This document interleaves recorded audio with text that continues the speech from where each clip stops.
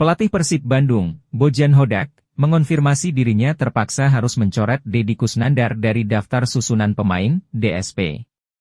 Dedi Kusnandar harus dicoret Bojan Hodak dari DSP Persib saat menghadapi Persik Kediri pada laga pekan ke-22 Liga 1 musim 2023 hingga 2024 di Stadion GBLA, Minggu 10 Desember 2023.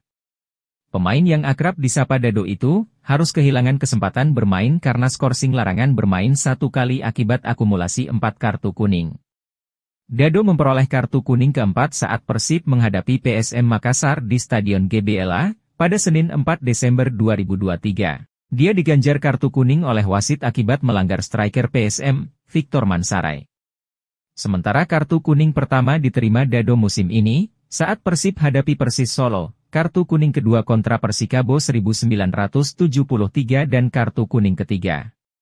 Semua bagus, kondisi pemain, kecuali Dedi terkena akumulasi kartu kuning jadi dia tidak bisa main di laga berikutnya, kata Bojan Hodak, Kamis 7 Desember 2023. Peliknya bagi Persib, karena calon pengganti Dedi Kusnandar di posisi holding midfield, Rahmat Irianto sedang bermasalah dan belum dipastikan bisa turun bermain. Lalu Irianto terkena benturan di laga sebelumnya tapi saya rasa besok dia sudah pulih, kata Bojan Hodak.